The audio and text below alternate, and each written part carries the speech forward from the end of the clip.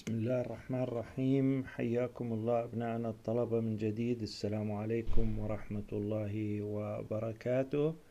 نتابع معكم درس البرمجة الخطية والحل الأمثل. تمارين تأكد.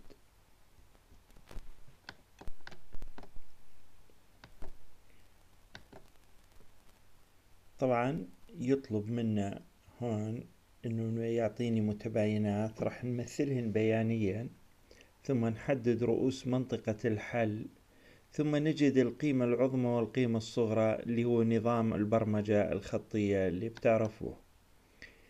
لاحظوا هذا البرمجة الخطية هذا النظام مؤلف من إيش؟ مؤلف من ثلاث متباينات اللي هم حدود هذول المتباينات. ذول أول ثلاثة ذولا متباينات هذول حدود للمنطقة وهاي تعتبر دالة. كل هذا يسموه برمجة خطية أو نظام برمجة خطية. كيف نحله؟ بنروح نرسم المتباينات هذول مثلا Y أقل من صفر من خمسة برسم خط يقطع محور Y عند الخمسة واللي أقل تحته. و X أقل من أربعة برسم خط عند X يساوي أربعة عمودي رأسي واللي أقل على اليسار. ثم نرسم هاي الدالة ونحدد منطقة الحل بهذا الشكل. لاحظوا. هذا الرسم الأول. عندي آه هاي آه Y رسمتها على سوى الخمسة Y يساوي خمسة. واللي أقل تحتها وهاي X يساوي أربعة واللي أقل على يسارها. وهذا كيف رسمناه؟ عملنا جدول. Y يساوي سالب X لما Y صفر لما X صفر Y صفر. لما X واحد Y سالب واحد ونرسم الخط. تمام. الآن بعده بنروح نحدد رؤوس منطقة الحل.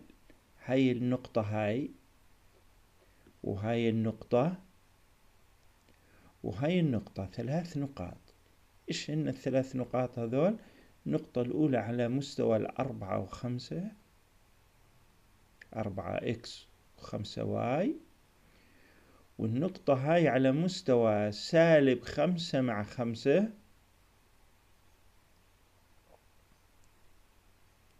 النقطة اللي تحت أربعة مع سالب أربعة. تمام. إيش أعمل فيهم هذول النقاط الأربعة؟ النقاط الثلاث عفوا. إيش نعمل فيهم؟ هم ثلاث نقاط. نأخذهم على الدالة. نسوي جدول زي هيك. نحط بدل إكس واي إكس واي إكس واي بنعوضهم بالدالة هون. نشوف مين أكبر قيمة من ذول مين أكبر قيمة بال... من قيم ال F 28 هي أكبر قيمة إذا هذه بسميها قيمة عظمى. ومين أصغر قيمة؟ ال 35 هذه قيمة صغرى. إذا نستطيع نقرر الإجابة زي هيك. نقول القيمة العظمى هي 28 عند النقطة أربعة وسالب أربعة والقيمة الصغرى هي سالب خمسة وثلاثين. عند النقطة سالب خمسة وخمسة. هذا هو اسمه البرمجة الخطية. شوفوا المثال الثاني. نفس الإشي رسمته. Y أقل من ثلاث هي Y ثلاث أقل تحت. ورسمت المتباينتين وحددت رؤوس منطقة الحل طلعوا ثلاث نقاط هذا هما ناخذ الثلاث نقاط زي هيك نوديهم على الجدول ونعوضهم بالدالة هاي الدالة اللي تحت هاي هاي دالة. يطلع هذول القيم. القيمة العظمى هي عشرين وعند النقطة واحد وثلاث والقيمة الصغرى اللي هي الأصغر سالب 12 عند النقطة سالب ثلاث وثلاث.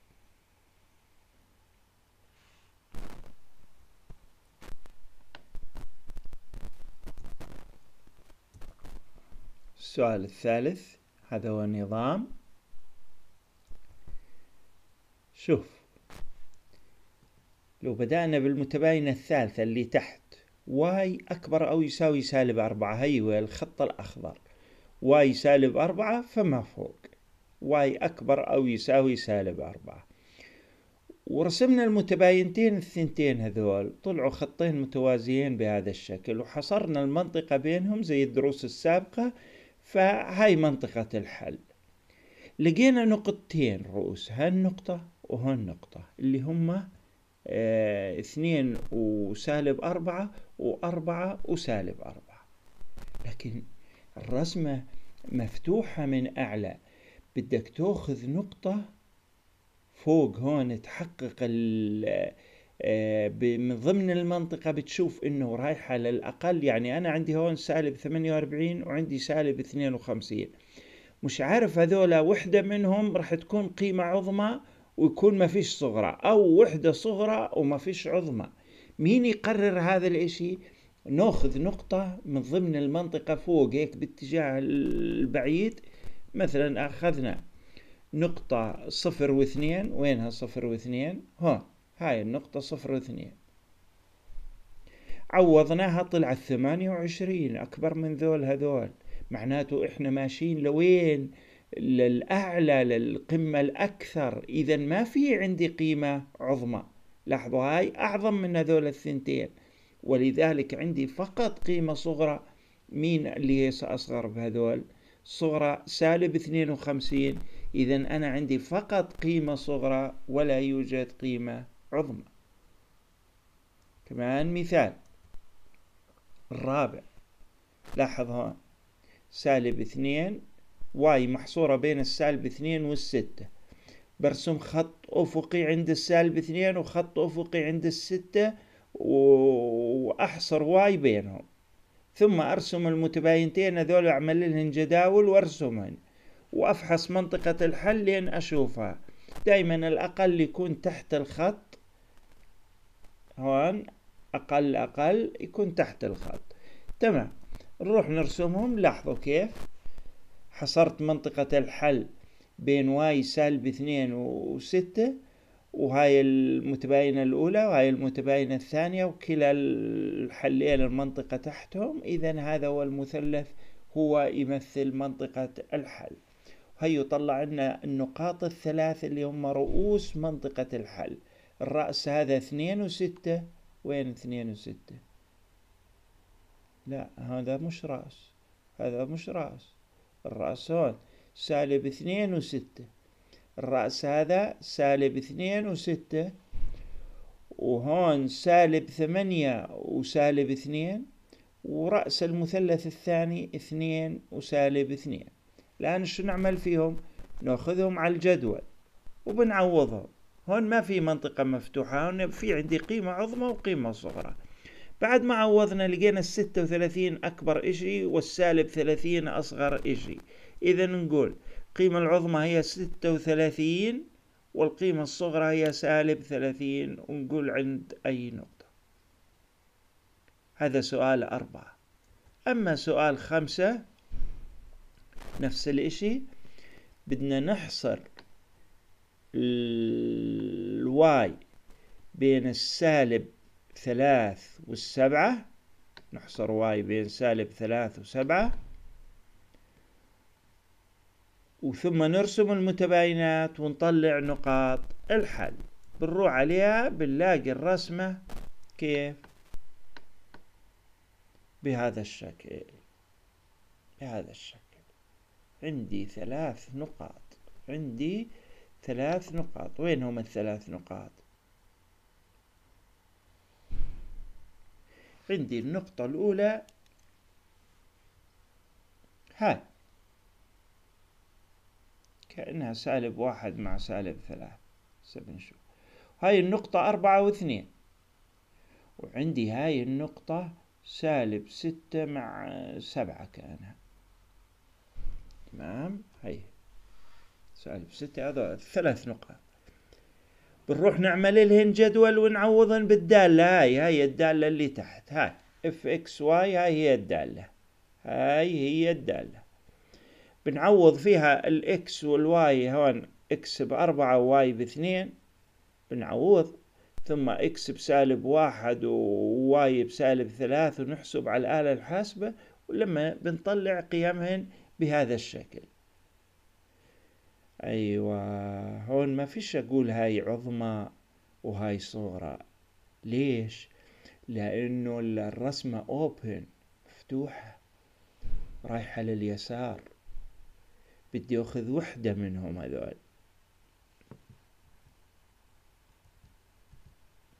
بدي أخذ وحدة من هذول. يا المية وخمسة وثلاثين يا السالب ثلاثين. متى أخذ المية وخمسة وثلاثين؟ لما أقرر أنه في عظمى وما في صغرى المية وخمسة وثلاثين عظمى وأقول هاي العظمى وما في صغرى. أو إني أخذ سالب ثلاثين صغرى وأقول ما في عظمى. طيب كيف أنا بدي أقرر هذا الإشي؟ بدي أخذ نقطة هيك باليسار بمنطقة اليسار أقصى اليسار. مثلا لو أخذنا نقطة مثلا رايحة سالب مية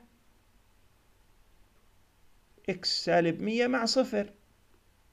هاي النقطة موجودة ضمن منطقة الحل لأنه كل محور x السالب آه، ضمن منطقة الحل. يلا بنعوض. سالب 12 في سالب مية يطلع ألف وميتين. ألف وميتين وتسعة في صفر بصفر. إذا يساوي ألف وميتين شو وضع الألف وميتين مع اللي بالجدول عندي هون؟ أعظم منهم أكبر منهم. إذا على طول لا يوجد عظمى لأنه كل ما مشيت يسار بيجيك رقم أكبر. إذا يوجد قيمة صغرى فقط هي سالب ثلاثين. هنا لاحظ أنا أخذت سالب مية وصفر هم هنا أخذوا إيش؟ سالب عشرين وواحد عوضوا طلعت كمان قيمة عظمى أكبر من المية وخمسة وثلاثين. إذا لا توجد قيمة عظمى إنما يوجد قيمة صغرى فقط هي سالب ثلاثين. اكتبها.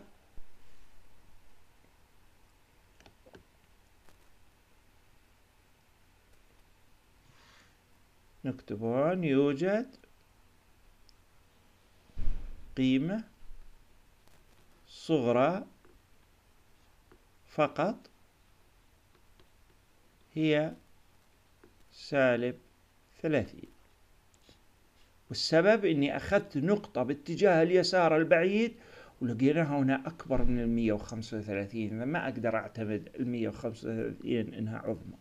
ما ما بظبط هنا يو أخذ نقطة ثانية سالب عشرين وواحد نفس الإشي ضمن منطقة الحل. عوضها طلعت أعلى من وخمسة وثلاثين. إذا ما بتقدر تعتمد وخمسة وثلاثين إنها قيمة عظمى. السؤال السادس. رحنا رسمناه بهذا الشكل. وطلعنا نقطتي الحل بهذا الشكل. هيهم وعملنا لهم جدول بهذا الشكل. وطلع النقطة الأولى صورتها. سالب ستة والنقطة الثانية صورتها إيش؟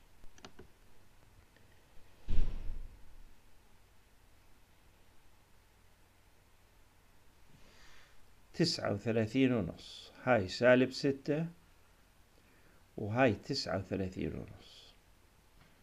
هل أعتمد إنه في عظمى وما فيش صغرى؟ ولا أعتمد هاي الصغرى وأقول ما فيش عظمى؟ كيف؟ بدك تأخذ نقطة فوق لفوق بس لاحظ هان في ميلان فبدك تكون دقيق في أخذ النقطة. فأنا يعني شوية جربت عشان أعرف ما أخذ نقطة بعيدة بضمن منطقة الحل هاي كانت صعبة شوية فأخذت النقطة آه، إكس بخمسين وواي بمية. وفحصتها إنها تزبط عليهم الثلاث متباينات ولا لا. فلما أخذت مية اثنين بخمسين مية زائد ستة المية أصغر من مية وستة صح. حطيت هون مية أكبر أو يساوي هاي بتصير مية ناقص ثمانية نعم. وكمان حطيت هون مية وهاي عدد سالب إذا نعم إذا زبطت. تمام؟ إذا الآن أخذت اختياري للنقطة سالب خمسين ومية ورحت عوضتها وين؟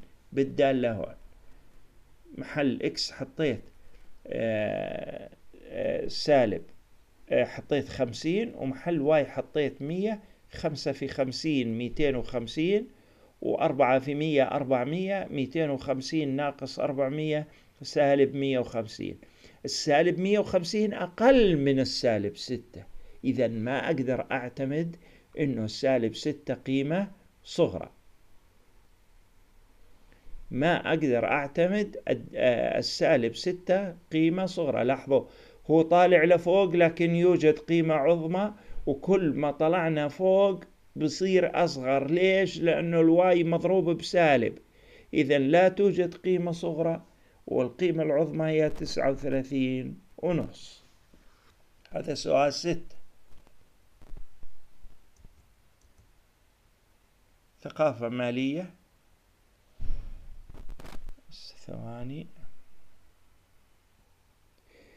بيقول يبلغ مجموع ساعات العمل اليومي لعمال قسم الإنتاج. في عندي قسمين قسم الإنتاج وقسم الجودة. قسم الإنتاج بيشتغلوا مجموع عملهم العمال كلهم 200 ساعة على أكثر مجموع ساعاتهم.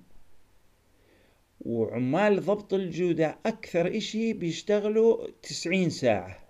ويبين الجدول الآتي عدد الساعات التي ينتجها آه، يتطلب نوعين من الغسالات. أنا الآن بدي أسمي النوع الأول من الغسالات.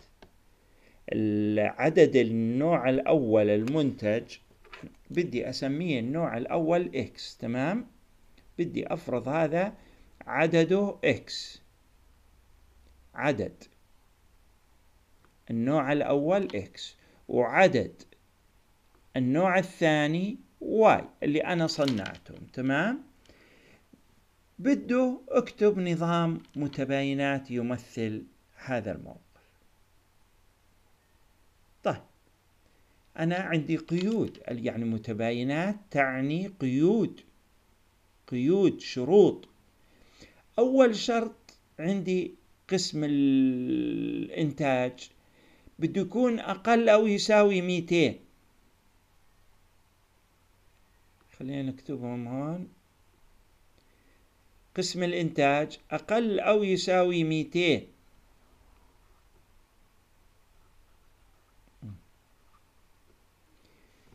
وقسم الجودة بده يكون أقل أو يساوي تسعين. طيب النوع الأول ال x هذول كم بدهن بقسم الإنتاج؟ بدهن خمسة x. يعني كل غسالة بدها خمس ساعات. وكل غسالة ب y بقسم الإنتاج بدها أربع ساعات. أربعة y. ذول لازم يكونوا أقل أو يساوي ميتين. وكمان قسم الجودة كل غسالة من x بدها ساعتين. زائد كل غسالة من y بدها ساعتين وبدهم يكونوا أقل أو يساوي تسعين. وأيضا في عندي عدم السالبية. شو يعني عدم السالبية؟ إنه x ما بتكون سالبة. أنت بتحكي عن عدد غسالات. إذا x أكبر أو يساوي صفر و y أكبر أو يساوي صفر. بنشوف؟ آه. عدم السالبية. x أكبر أو يساوي صفر y أكبر أو يساوي صفر. المتباينة الثانية تاعت قسم الإنتاج والمتباينة الثالثة اللي هي آه، تضبط لي آه، قسم الجودة. تمام؟ الآن اللي بعده بده نروح نمثلهم بيانيا. طبعا x آه، أكبر أو يساوي صفر و y أكبر من يساوي صفر يعني بالربع الأول. تعني الربع الأول. نرسم المتباينة الأولى والثانية بهذا الشكل. لاحظ عندي كم نقطة؟ عندي هاي النقطة صفر وخمسة وأربعين. هاي النقطة أربعين وصفر. هاي النقطة عشرين وخمسة وعشرين. وهاي النقطة صفر وصفر. إذا عندي أربع نقاط للحل. حدد رؤوس منطقة الحل. عندي أربعة نقاط. تمام. اللي بعده؟ بيقول إذا كان ربح الغسالة الواحدة من النوع الأول ثمانين. طبعا أنا عندي إكس من الغسالات. قديش يجيب لي ربح؟ ثمانين ضرب x والنوع الثاني يربح خمسين ريال يعني خمسين y. اكتب دالة تمثلهم. أي هالدالة؟ f x y يساوي ثمانين x زائد خمسين y. هاي دالة الربح يسموها. أو دالة الهدف أحيانا. الآن نروح نعمل جدول للنقاط الأربعة اللي قبل شوية وبنعوضهم بالدالة. وين شفنا أكبر ربح ممكن؟ أكبر ربح ممكن عند ثلاث ألاف ومئتين. إنك بتصنع فقط من النوع الأول تترك النوع الثاني نهائي. طبعا هون صفر يعني إنك ما تصنعش بالمرة ما تربحش. تمام؟ كله يربح لكن أفضل ربح إنك تصنع أربعين وفق القيود اللي عندك. وفق القيود مش تقولوا ليه ما أصنع هون أربعمية؟ لا مو في ضوابط قسم الإنتاج وقسم الجودة ضابطاتك. إذا وفق القيود أنت ما تستطيع تربح أكثر من ثلاث ألاف ومئتين. إذا هذا هو الربح. شكرا لكم وإن شاء الله تعالى نعمل لكم تدربوا حل على المسائل. وعشان إنه فترة الامتحانات بدنا نعمل أيضا نحل اختبار الفصل ومراجعات وأي طالب عنده أوراق عمل بده مراجعات خاصة أو بده هذا إحنا إن شاء الله نقدم هذه الخدمة. شكرا لكم والسلام عليكم ورحمة الله وبركاته. طبعا خدمات خاصة إما تكون منتسب أو تدفع بدل الخدمة. شكرا. السلام عليكم ورحمة الله.